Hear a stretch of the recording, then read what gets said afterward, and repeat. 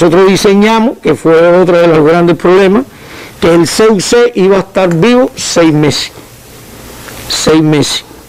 Que se cambiaba en el banco y que se recogía en un grupo de entidades del comercio. Lo que pasa es que la información no fue buena y no se dijo dónde se recogía y no se recogía.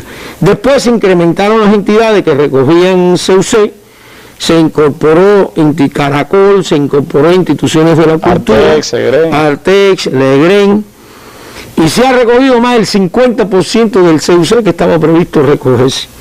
Eso te da una expectativa de la población, que la, la población entendió rápido que es una moneda de la cual hay que salir.